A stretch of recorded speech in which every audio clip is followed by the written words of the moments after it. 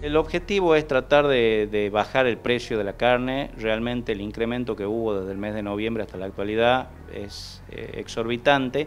Entonces la intención, si bien no llega a todas las bocas de comercialización ni a toda la provincia, la intención es por ahí eh, que sirva como regulador de precios. O sea, digamos, esto va a servir para que las otras bocas de comercialización de carne acomoden sus precios a eso, porque bueno, obviamente la gente busca lo más conveniente y lo más barato. De los controles que venimos haciendo, el programa se cumple. Recordemos que el programa es los días, los primeros tres miércoles de cada mes y todos los fines de semana. Se cumple, digamos, en algunos casos un 100%, en otros casos un poquito menos.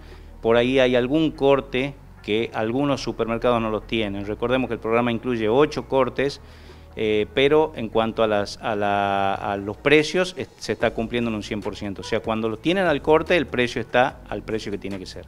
¿Cuáles son los cortes que incluye este programa? Los cortes son tira de asado, vacío, matambre, tapa de asado, bola de lomo, carnaza, falda y road, beef. Con respecto al porcentaje, estamos hablando de que va de un 14 a un 30% menos de eh, lo que teníamos los precios a noviembre, o sea, hay, el descuento es bastante importante. El programa, eh, la intención es que se mantenga durante todo el año 2021 y la actualización es trimestral, o sea, la primera actualización que tendríamos con respecto a esto es en el mes de mayo. Una de las patas más importantes del programa es la señalética. Eso sí hemos notado que los supermercados algunos supermercados no están cumpliendo con la señalética. Por supuesto, siempre hablamos de algunos, porque hay algunos que realmente sí cumplen. Acá no hay una, eh, un, diseño establecido. Lo importante es que esté y que esté visible a la gente, o sea... De hecho no hay nombre del programa eh, definido. ¿no? no, no, no, hay un nombre establecido, un nombre concreto, pero lo que sí, la obligación, y eso está en el convenio y está firmado, es que tiene que estar señalizado. O sea, no solamente con el precio en la CENEFA, un precio chiquito, porque eso sí estaba, sino que tiene que tener una cartelería, una cartelería más o menos importante. A ver, aproximadamente para que la gente tenga una idea de un tamaño de una hoja A4. Bien, y hoy están presentadas en las góndolas con en bandeja negra, eso también es algo identificatorio, ¿no? Sí, sí, está, está diferenciado de la carne que no entra en el programa, están con una bandeja negra. Bien, ¿y cuántas bocas de compra hay? Eh, ¿Cuáles son, digamos? Son las grandes cadenas nacionales que son las que hicieron convenio con los frigoríficos, eh, actuando como nexo a la Secretaría de Comercio Interior de la Nación. Estamos hablando de las cadenas de Cencosud, que es Bea y Jumbo, eh, Carrefour, eh, Walmart, Libertad y además Friar, la carnicería Friar.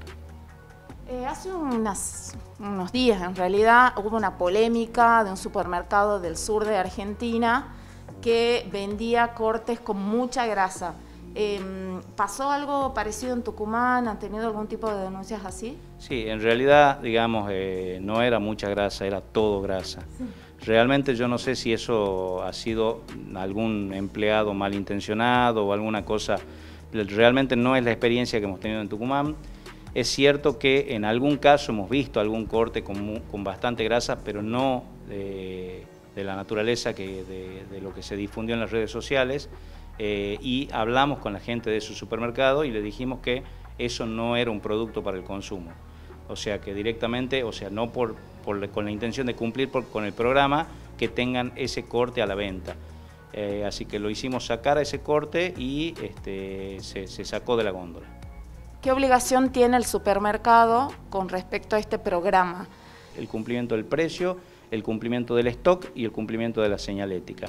Cumpliendo esas tres cosas estaría dentro de lo acordado. Y lo importante es que se firmó un convenio con la Secretaría de Comercio Interior de la Nación, donde ellos son la autoridad de aplicación del convenio, o sea, nosotros somos autoridad de fiscalización. Nosotros lo que hacemos es los relevamientos, los controles, las actas y remitimos la documentación a Buenos Aires que eh, ellos son los que tienen el poder de policía para aplicar sanción. ¿A dónde se puede denunciar? La denuncia puede ser presencial en la Dirección de Comercio, acá 9 de julio 497, o vía telefónica al 452 5080 u 81.